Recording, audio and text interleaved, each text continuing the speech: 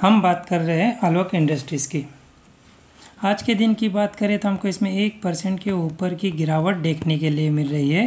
इस वक्त स्टॉक जो है हम देख सकते हैं थर्टी सेवन रुपीज़ पर काम करता हुआ नज़र आ रहा है। इससे पहले हमने वीडियो में डिस्कस किया था थर्टी फोर के ब्रेकआउट के बाद फोर्टी तक के टारगेट को देखने के देखने के लिए मिल सकता है, ऐसा डिस्कस किया था। थर्टी फोर के ब्रेकआउट के बाद एक बड़ी बड़ा जम देखने के लिए मिल सकता है। और हमने देखा कि ऑलमोस्ट स्टॉक ने फोर्टी फोर्टी के आसपास तक के टारगेट दिखाए।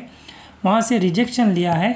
और अब इस रिजेक्शन के बाद, इस तेज़ी के बाद ऊपर की ओर ही काम करता हुआ हमको नज़र आ रहा है। यहाँ बड़ा सेलिंग देखने के लिए नहीं मिल रहा। हम देख सकते हैं जो पिलर यहाँ इंटर हुए है, ट्वेंटी रुपीज़ के आसपास वो यहाँ भी बने हुए लगातार हमको बड़ी बाइंग देखने के लिए मिल रही है और उतना बड़ा हमको सेलिंग नज़र नहीं आ रहा है। तो ये ऐसी कंडीशन में ब्रेकआउट के पूरे पूरे चांस बने हुए फोर्टी का लेवल इसका तगड़ा रेजिस्टेंस जोन है। तो अब इसके आसपास हमको फ्रेश बाइंग थोड़ी अवॉइड करनी है क्योंकि इसका तगड़ा रेजिस्टेंस जोन है।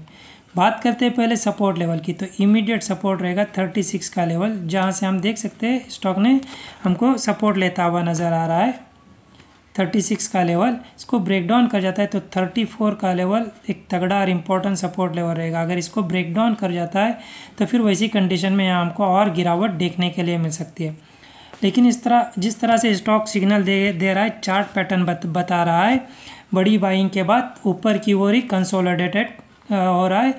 और सेलिंग प्रेशर देखने के लिए नहीं मिला तो ब्रेकआउट के पूरे पूरे चांस बने हुए इमीडिएट टारगेट रहेगा 40 का लेवल 40 का लेवल ब्रेकआउट होकर जाता है तो वैसी कंडीशन में फिर हमको और तेज़ी देखने के लिए मिल सकती है। फिर हमको 44 तक के भी टारगेट शॉर्ट टर्म में ही आलोक इंडस्ट्रीज़ दिखा सकता है। अगर आप डिमेट अकाउंट ओपन करना चाहते हो तो डिस्क्रिप्शन में दी गई लिंक से कर सकते हो। वीडियो जो एजुकेशन पर्पज़ के लिए कोई बाय और सेल की सलाह नहीं है।